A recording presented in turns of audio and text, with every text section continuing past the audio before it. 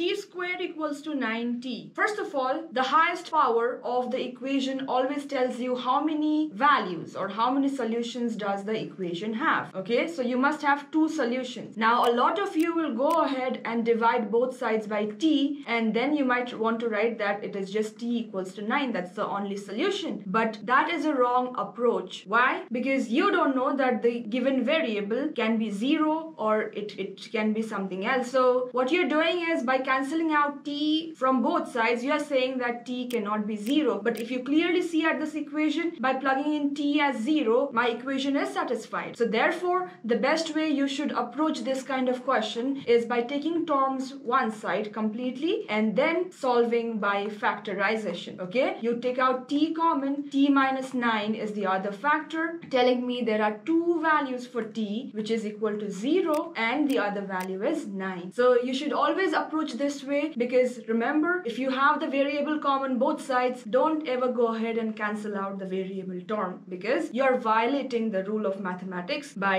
saying that if the variable is 0, you are dividing by 0, which is not possible. Hence, this is how you follow.